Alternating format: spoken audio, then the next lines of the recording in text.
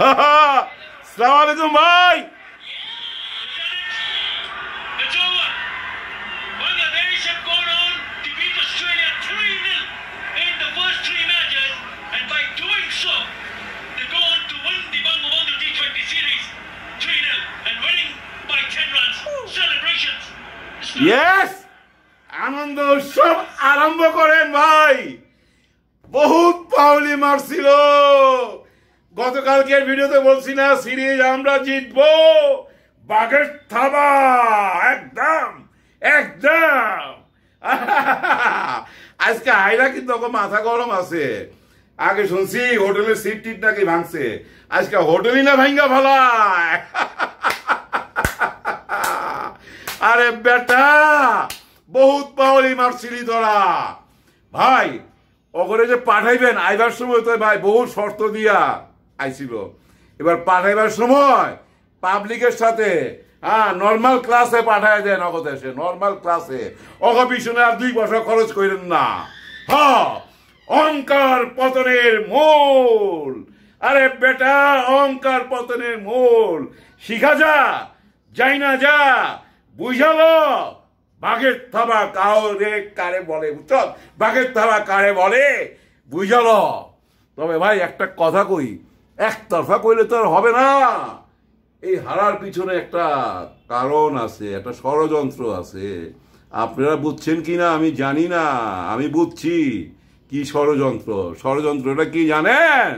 ওরা যখন খেলতে আসলো বাংলাদেশে, আইসাই পাইলো হেলেনা জাহাঙ্গীরের ওই ঘটনাটা। ওই বাসার থেকে যখন ক্যাঙ্গারুর চামড়া উদ্ধার হইছে, তখনই অগমনটা ভাঙ্গে গেছে। যে আমগো ক্যাঙ্গারু, আমাদের প্রাণ প্রিয় ক্যাঙ্গারু বাংলাদেশে হেলেনা জাহাঙ্গীর দেওয়ালে ঝুলায় রাখছে। এই থেকে অগমনটা ভাঙিয়া গেছে। এই হারার পিছনে হেলেনা জাহাঙ্গীর। অস্ট্রেলিয়ার দলের কমু হেলেনা জাহাঙ্গীরের নামে কেস করেন। কেন আপনাদের ক্যাঙ্গারুর চামড়া এভাবে ঝুলায় রাখল? কেন আপনাদের মন ভাঙলো? কেন আপনারা আজকে হারলেন এত বড় দল? হ্যাঁ? আর এই যে আঙ্গ বাংলাদেশের কিছু চামচা চামুন্ডা আছে, যারা বলতো এটা বি টিম। ওই বেটা, বি টিম, এ টিম, পরপর তিনবার হারে রে, তিনবার হারে হ্যাঁ? ভাই, বিশ্বাস করেন করোনার জন্য, বুঝছেন, লকডাউনের জন্য, নাইলে এখন রাস্তায় বাইরে নাচতাম, লাফাইতাম। হ ভাই, খুব মজা পাইছি, খুব মজা পাইছি।